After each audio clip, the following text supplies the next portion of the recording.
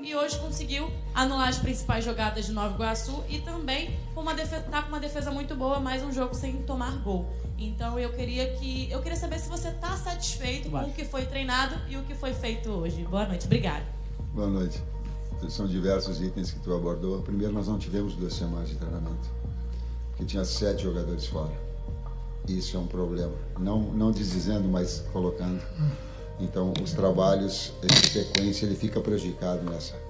Agora, estou vivendo o outro lado de técnico de clube, quando os, os atletas vão para a seleção e ficam, inclusive com desgaste de fuso horário, de viagens, como foi o caso do Arrasca, do Nico, do Fabrício, o Ayrton que não jogou, mas, mas, mas também, é, enfim, enfim, a gente ter essa, um, a gente tem, é, é por vezes é um quebra-cabeça muito grande. Ao primeiro, o melhor ataque contra o terceiro melhor ataque se enfrentaram hoje. Né, com opções ofensivas, com duas equipes que gostam de bola, gostam do jogo.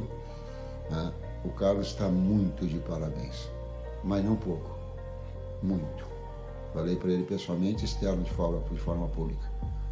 A qualidade da equipe do Nova Iguaçu, ela não é um acaso, não.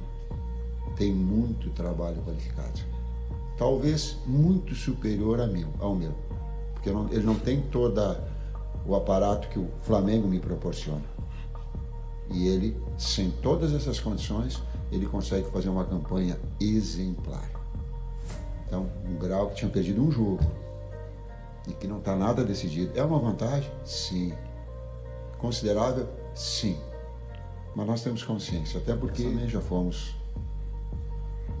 Iniciamos a nossa carreira com Carlos e, e sabemos dar valor a isso.